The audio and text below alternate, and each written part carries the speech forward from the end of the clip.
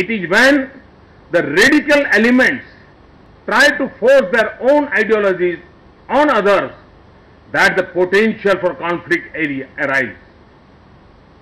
On these issues of environment, the conference seems to have agreed that the philosophic understanding and underpinning of the dharma which stresses the protection of natural heritage is critical for sustainable development.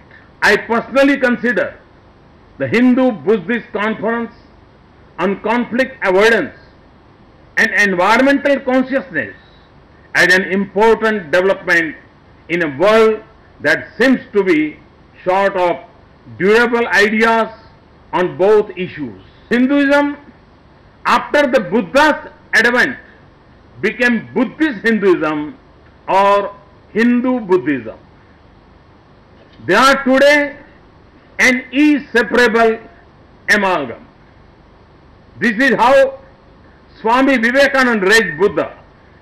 I quote, at the time Buddha was born, India was in need of a great spiritual leader, a prophet. Buddha never bowed down to anything. Buddha was the great preacher of equality. Every man and woman has the same right to attain spirituality that was his teaching. I would personally call India Buddhist India as it has imbibed all the values and virtues of the teachings of Buddha.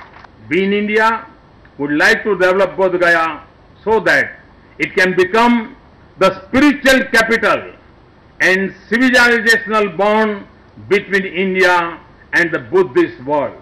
I am happy to read the declaration of Buddhist religions and spiritual leaders.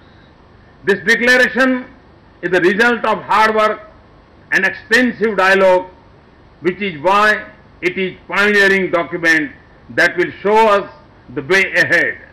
I wish you well in your constant and determined effort to ensure that our wisdom reaches the future generations and that too in a manner in which they can practically relate to.